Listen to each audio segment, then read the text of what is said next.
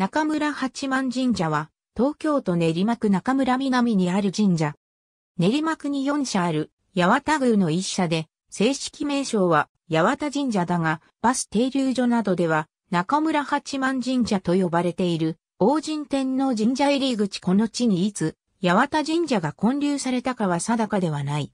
旧来より、宮中荒井村の七であり、現在では、中村北、中村及び中村南の宇治社である。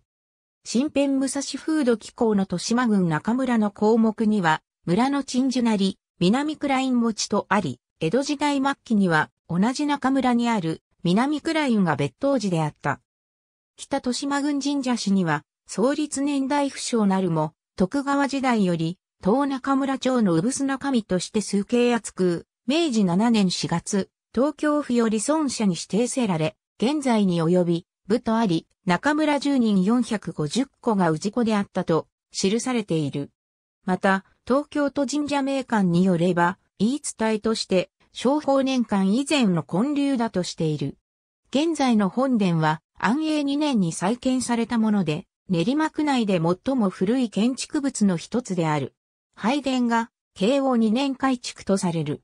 他に、神楽殿があり、こちらは昭和47年と新しい。境内には他にも、文政10年12月吉日名の狛犬や、日露戦役記念碑などの石碑、陰国がある力石などがある。